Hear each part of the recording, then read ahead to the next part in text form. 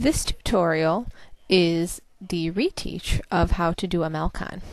MEL-Con is a graphic organizer that helps students write better, developed, clearer, and more organized paragraphs.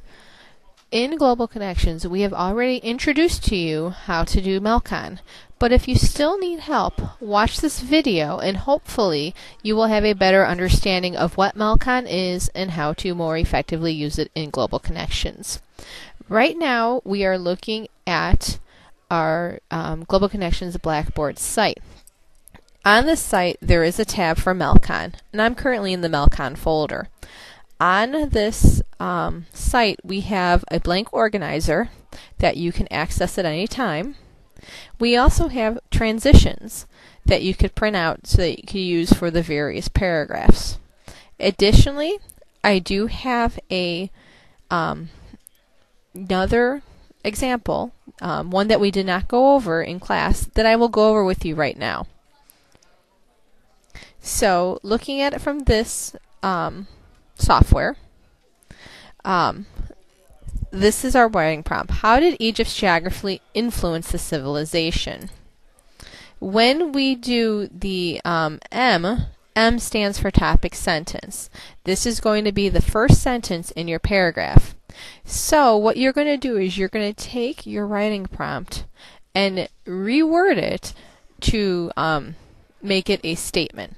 So first you need to find out if geography influences civilization positively or negatively. And based on the um, reading in your book, it was a negative impact. So I'm saying Egypt's geography negatively impacted the civilization.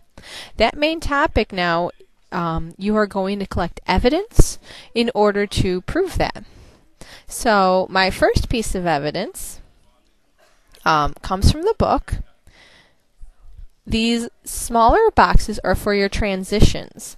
That would be from that one page transition thing. So, I picked first and foremost. My evidence is going to be a quote. So, first and foremost, when the Nile's flood waters were just a few feet lower than normal, the amount of fresh silt and water for the crops was greatly reduced. I found that in our textbook, so I'm going to use the author's name and the page number. So the author's name is Beck. It was on page 36, and I put a period at the end. After every example, you have to link it back to the topic and basically explain how this shows that geography negatively impacted. So, why was um, fresh silt in water a problem? Well, since there were less crops, many people starved. This definitely shows that that's a negative impact on the civilization. I need another um, evidence, but first I'm going to start with the link. Adding to that, Here's another quote. When floodwaters were a few feet higher than usual, the unwanted water destroyed houses, granaries, and the precious seed farmers needed for planting. Again, that came straight from the book. I am quoting Beck, page 36. Even if all of your citations come from the same author and even the same page number, you need to quote it after every single um, quote. You just can't save it for the end of the paragraph because I don't know then what information was cited or not. I need to link it again. So here's my link. So how do I prove that having high flood waters were bad? This led to death and starvation, but also forced many Egyptians out of their homes. So again, I'm showing that high flood waters negatively impacted through this manner. We need a third piece of evidence. So here I go. My transition is the best and final reason is the vast and forbidding deserts on either side of the Nile acted as natural barriers between Egypt and other lands. Again came page 36 of from Beck. My link, therefore, is this prevented interaction between the Egyptians and other civilizations which limited cultural diffusion.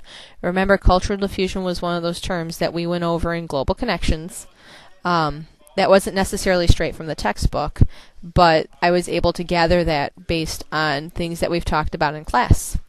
After you have three pieces of evidence and three links, it's time for our conclusion.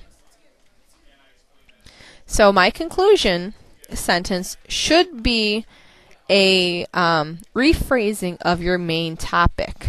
So, no one can argue that Egypt's geography caused environmental challenges for the Nile River civilization.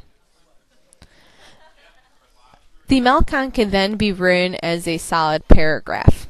Um, so you could take it out of the paragraph and then type it into a regular um, paragraph if you wanted to. So this has been your tutorial on um, how to use a MEL-Con for global connections.